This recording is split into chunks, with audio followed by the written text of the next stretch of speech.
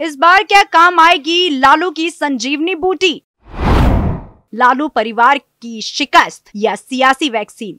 नमस्कार, स्वागत है आपका स्पेशल रिपोर्ट में। आप देख रहे हैं कैपिटल टीवी बिहार और मैं हूँ आपके साथ सृष्टि मैथान।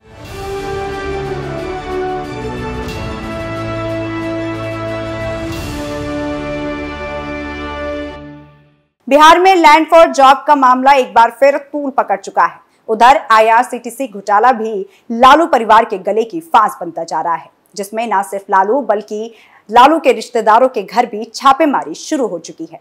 इस सब के बीच सवाल ये उठ है कि इन छापेमारी का असर बिहार में क्या रंग लाएगा? मगर इन सवालों के जवाब ढूँढने से पहले इतिहास खंगाल कर देखा जाए तो ऐसा पहली बार नहीं हो रहा है, जब लालू के लिए ऐसे मामले परेशानी का सबब बन रहे हों। इससे पहले भी लालू यादव और उनके रिश्तेदारों का ईडी से गहरा नाता रहा है। मगर इसके बावजूद भी तमाम अटकलें लालू की हस्ती क्यों नहीं मिटा पाए?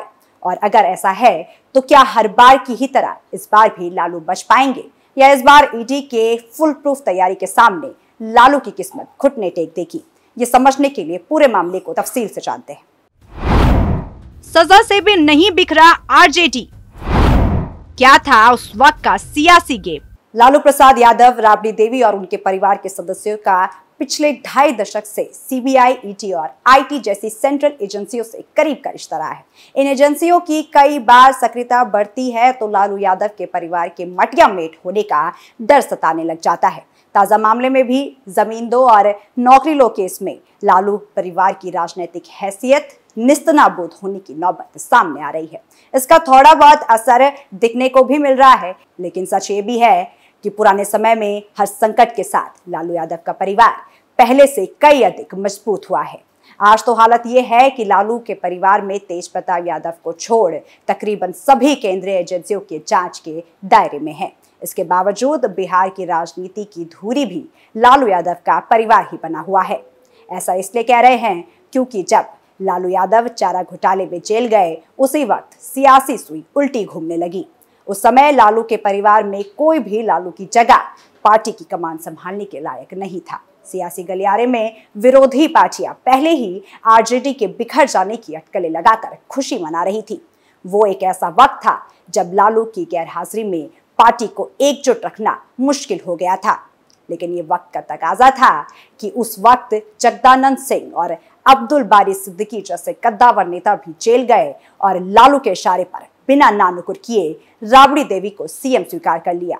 इस तरह आरजेडी बच गई और अगले दस साल तक राबड़ी देवी ने मुख्यमंत्री के रूप में बिहार की कमान संभाली। आलतू जलालतू, आई बला को टाल लालू। कहीं ना कहीं लालू को जेल जैसे मुश्किल वक्त ने बहुत सी चीज़ें मज़बूत करने का मौका दिया। तो वहीं सजा भी लालू के तेवर कम नहीं कर पाई। लालू यादव को जब चारा घोटाले के मामले में सजा हुई तो फिर ये लगने लगा कि आरजेडी का अब उभर पाना संभव नहीं। पर यहाँ भी अनुमान गलत हुआ। अपनी राजनीति से लालू ने अपने धुर विरोधी और कभी साथ रहे नीतीश कुमार को पटा लिया। 2015 के चुनाव में नीतीश की पार्टी, जेडीयू और लालू की पार्टी, आरजेडी के साथ चुनाव लड़ने का फैसला कर लिया। संयोग से उस वक्त कांग्रेस ने भी साथ देने में हामी भर थी वहीं जब आरएसएस प्रमुख मोहन भागवत के आरक्षण की समीक्षा वाला बयान सामने आया तो उसे लालू ने अपने पक्ष में मोड़ लिया।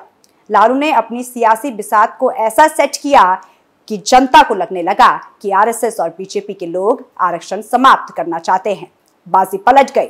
और तीन दलों के महागठबंधन ने बिहार में सरकार बना ली। यही नहीं 2015 के बिहार विधानसभा चुनाव में भी लालू के कारण ही बीजेपी की लीडरशिप वाले एनडीए को मात खानी पड़ी थी। आखिर क्यों नहीं मिट पाती लालू प्रसाद यादव की हस्ती? इतने उठक पटक के बावजूद भी लालू कैसे बचाते हैं ये समझने के लिए बिहार की सांप्रदायिक गणित समझिए। लालू यादव पिछड़े समाज से हैं। तो वही बिहार में अति पिछड़ा और पिछड़ा वर्ग की आबादी तकरीबन बावन फ़ीसद है। इसमें अकेले लालू की जाति, यादव बिरादरी के 16 फ़ीसद से ज़्यादा लोग हैं।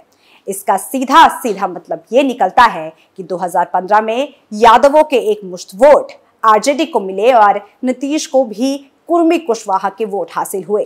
साथ ही लालू ने पसमानदा समाज को अपने साथ किया। तो इसी पैटर्न पर दलितों को दो तबके में बांटकर महादलित समाज को अपने पक्ष में करने में कामयाबी हासिल कर ली।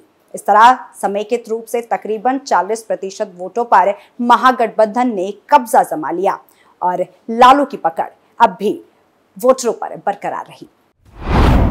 लालू परिवार का इमोशनल कार्ड। क्या इस बार आएगा काम? हालाँकि ताजे मामले में लालू के लिए परेशानियाँ गहरा सकती हैं।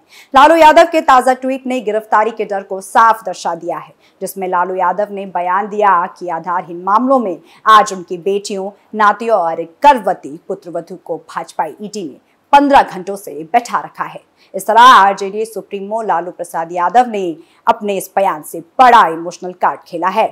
वहीं ये भी कयास लगाए जा रहे हैं कि भ्रष्टाचार के आरोपों से घिरे लालू के परिवार सत्ता में आते ही सवालों के घेरे में आ जाते हैं। ऐसे में आरजेडी का मानना है कि बिहार में नीतीश कुमार ने लालू से हाथ क्या मिलाया?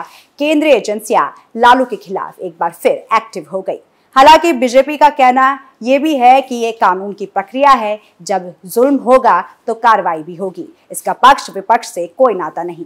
वहीं एजेंसियों की इस कार्रवाई के पीछे की मंशा को आरजेडी समेत लालू ने सही तरह से भापा है, जहाँ अब लालू के मन में एक ही सवाल चल रहा है कि लगा भ्रष्टाचार का दाग हटाए कैसे? जहाँ एजेंसियों की कार्रवाई से लालू का पूरा कुनबा डिस्टर्ब्ड है तो तेजस्वी यादव को सम्मन भेजने के बाद अब पार्टी की नज़रें लालू यादव पर है। क्या इस बार भी पिछले मामलों की तरह लालू यादव पर कसा शिकंजा, पार्टी और लालू यादव की सियासी ताकत बनेगा? एक बार फिर से कोई कूटनीतिक जीत हासिल करने में मददगार साबित होगा या फिर इस बार चौफ और लैंड के चिन्ह के सामने लालू यादव का स्केप मैच एक काम नहीं आएगा। इसी के साथ मैं लूँगी आपसे इजाज़त। बाकी मुद्दों पर तमाम जानकारी के लिए देखते रहिए कैपिटल टीवी बिहार।